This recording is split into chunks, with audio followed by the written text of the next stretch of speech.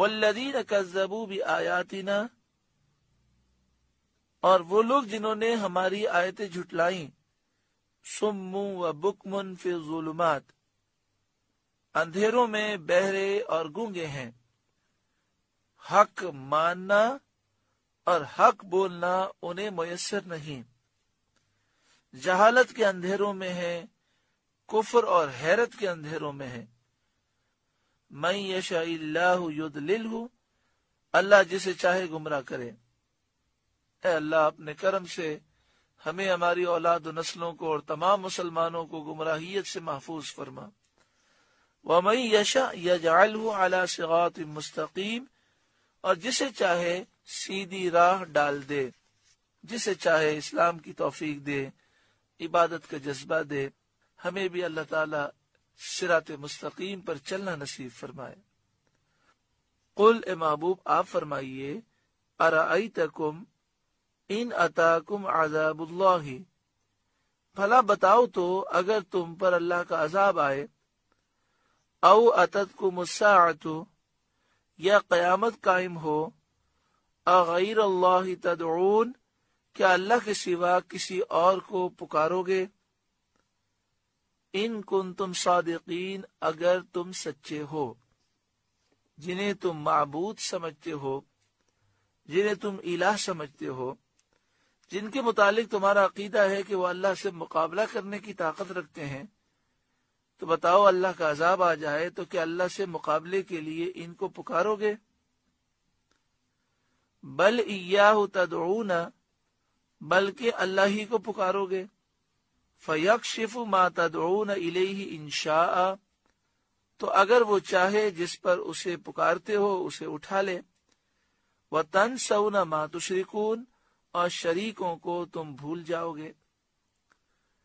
अगर तुम अपने दावे में सच्चे हो कि ये बुत खुदा है, मबूद है, इला है, और अल्लाह से मुकाबला कर सकते हैं तो फिर तुम उस वक्त उन्हें पुकारो।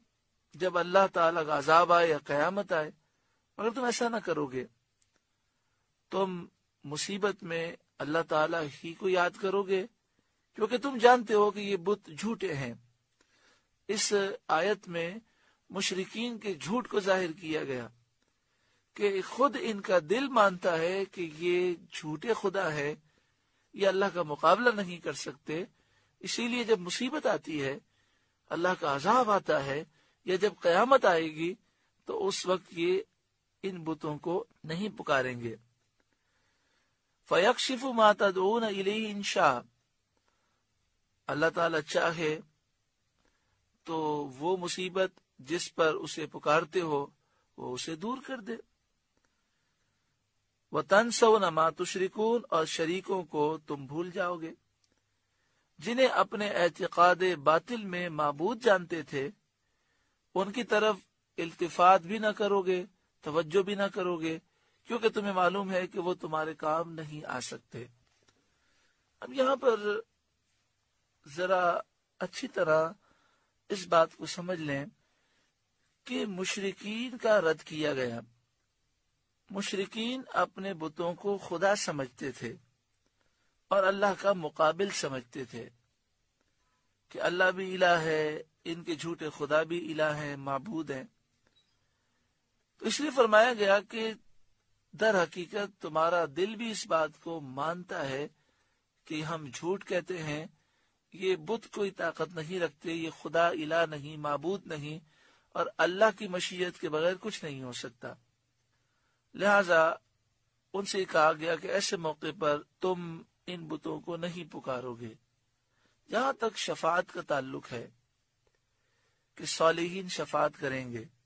ये अकीदा कुरान पाक से भी साबित है और अहादीस तयबा से भी साबित है।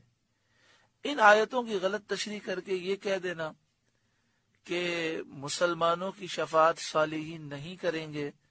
ये कुरान का भी इनकार है और अहदीस तयबा का भी इनकार है। पहली बात तो ये है कि मुसलमान नबी अकरम सल्लल्लाहु अलैहि वसल्लम अम्बिया अलिया सालिहीन और फरिश्तों को खुदा नहीं समझते, इला और मबूद नहीं समझते।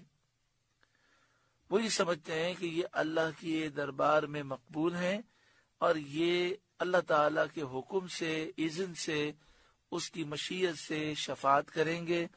और अल्लाह की मशीयत ये है कि वो इनकी शफात पर रहमत फरमाएगा। और ये अल्लाह ही का हुक्म है, इसलिए कल बरोज क़यामत सारी मखलूक नबी अकरम सल्लल्लाहु की बारगाह में हाजिर होगी और हुजूर शफात करेंगे। शफात कुबरा का दरवाज़ा आप खोलेंगे और इसी से सारी मखलूक की मुसीबत दूर होगी। ये बुखारी शरीफ, मुस्लिम और दीगर अहादीसी किताबों से साबित है। इसका इनकार करने वाला गुमराह है, बेदीन है। तो इसलिए इन आयतों को बुनियाद बनाकर इन हदीसों को कुरान की उन आयतों को रद्द करना जिसमें शफात का ज़िक्र है। दूसरी बात यह कि मुशरकिन ये अकीदा रखते थे कि हमारे बुत अल्लाह का मुकाबला कर सकते हैं। और मुसलमानों का यह अकीदा है कि सालिहीन अल्लाह की बारगाह में अर्ज़ करेंगे तो अल्लाह इनके तुफैल करम फरमा देगा। ये अकीदा नहीं है कि अल्लाह से मुकाबला करेंगे। तीसरी बात, मुसलमानों का अकीदा है कि सालिहीन शफात करेंगे तो अल्लाह के इज़न से करेंगे। और अल्लाह की मशीयत के बगैर कुछ नहीं होगा। ये अल्लाह की मशीयत है कि अल्लाह ताला सालिहीन को मकाम मर्तबा देगा और दुनिया में जिन लोगों की लोगों ने कदर ना की, कल बरोज कयामत अल्लाह ताला दिखाएगा कि देखो इन सालिहीन को मैंने कितना मकाम दिया कि इनकी शफात के सदके में कितने लोग जन्नत में जा रहे हैं। शफात कुबरा का दरवाज़ा तो रसूलुल्लाह सल्लल्लाहु अलैहि खोलेंगे। फिर आपके वसीले से दीगर अम्बिया साहबा, अहल बैत अतहार, यहाँ तक के हफाज, हाफिज बामल, आलिम बामल, शहीद, जिसने अल्लाह की रजा के लिए कुर्बानी दी, इसी तरह जिसका हज कबूल हुआ, वो सब लोगों को जहन्नम से निकालकर जन्नत में ले जाएँगे। अल्लाह उन्हें मकाम मरतबा देगा। तो ये अल्लाह की मशीयत है। इसका शिरक से कोई ताल्लुक नहीं है। दूसरी बात ये कि दुनिया में अल्लाह तबारक व ने एक निज़ाम बनाया कि हम एक दूसरे से मदद मांगते हैं। तो मदद मांगना एक दूसरे से शिरक उस वक्त होता है जब हम किसी को खुदा समझकर मदद मांगे। जब हम अपने लोगों से मदद मांगते हैं तो हम किसी को खुदा नहीं समझते। अल्लाह तबारक व ने एक निज़ाम बनाया कि जो सालहीन हैं, जो अल्लाह के प्यारे हैं, अल्लाह ने उन्हें मकाम मरतबा दिया कि जब उनका नाम मुसीबत में लिया जाए तो उनके वसीले से अल्लाह ताला मुश्किल को आसान फरमा देता है। और रब्बुल आलमीन ये दिखाता है कि देखो, जिन्होंने अल्लाह से लो लगाई, अल्लाह ने उन्हें कितना मकाम मरतबा दिया। अब देखिए, हम जब कब्रस्तान जाते हैं तो कब्रस्तान में जाने के बाद हम फतेह करते हैं, थोड़ी देर में घबराहट हो जाती है, ज़्यादा देर बैठ नहीं सकते।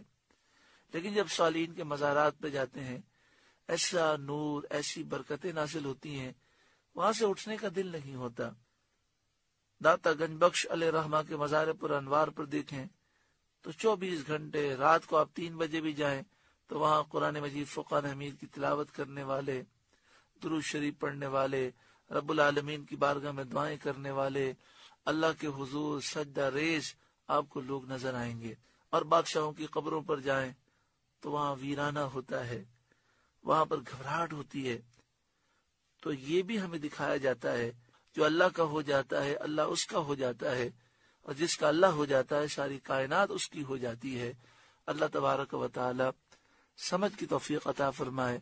इस मौजू पर मजीद तफसील जानना चाहें तो बाहर शरीयत मस्जिद से किताब या सीडी या कैसेट हासिल कर लें शिर की हकीकत और हकीकत तोहीद। मैार हिदायत किताब हासिल कर लें।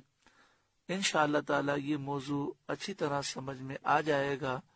अगर आप समझे हुए हैं, किसी को समझाना चाहते हैं तो मैार हिदायत किताब दे दें। इसी तरह शिर की हकीकत हकीकत तोहीद, ये सीडी, कैसेट दे दें और अल्लाह ताला से दुआ करें कि अल्लाह ताला सबको दीन की सही समझ अता फरमाए। सुर अनाम का चौथा रुकू मुकम्मल हुआ। अल्लाह रबालमीन इस रुकू के नूर से हमारे कुलूब को रोशन और मुनवर फरमाए।